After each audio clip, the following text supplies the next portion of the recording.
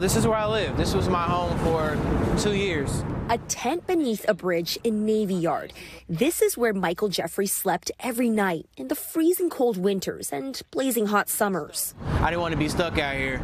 I don't I don't wish this on anybody to be stuck out here. Jeffrey used to work at Waffle House and a clothing company. He lost both jobs and his home during the pandemic, but he always had hope things would get better.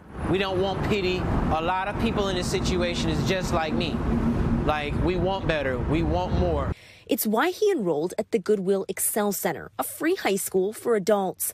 For an entire school year, Jeffrey took classes while still studying and living in the tent. A lot of people don't get that second chance, and Goodwill allowed that second chance for me, and I appreciate this. Last week, not only did he get his high school diploma, he did so as valedictorian. I am proud of you guys.